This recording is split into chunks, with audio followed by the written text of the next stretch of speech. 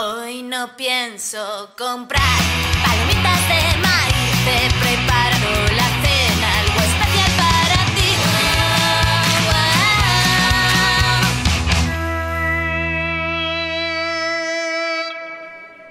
Que no me vas a convencer de lo contrario.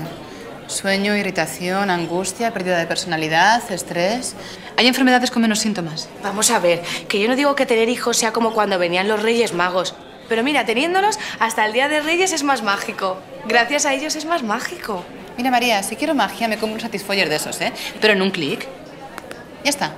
Además, que yo te hablo de cuando ya han salido. Porque es que lo de antes no quiero ni pensarlo. Pues es una vida creciendo dentro de ti.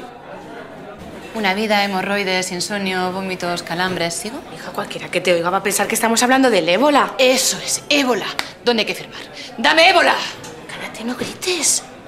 Es que al menos la sociedad no te juzga por decidir no tener ébola. Bueno, y por ello tampoco se te juzga tanto. Por eso muchas de nuestra quinta han decidido no tenerlos. Mira, María, no seas ingenua. Hay más óvulos congelados que chinos. ¿Pero qué tienes tú en contra de los chinos ahora? No, no, no desvaríes, ¿eh? que sabes de lo que te estoy hablando. A eso se le llama miedo y presión social.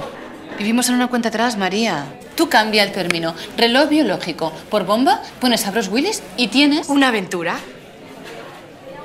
¿Tú me has visto cara de pirata o de arqueóloga con látigo? Vamos a ver, que yo creo que es más sencillo. Es aceptar que vas a pasar de vivir tu vida a vivir la del otro.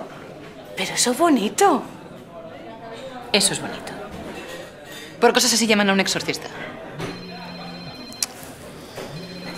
Cógelo. Cógelo. Ya es que es el otro.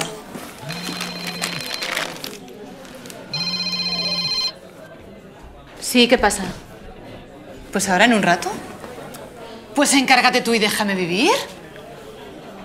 Alfonso. Sí, que el niño se ha partido un diente normal, si es que va como los locos todo el día espídico.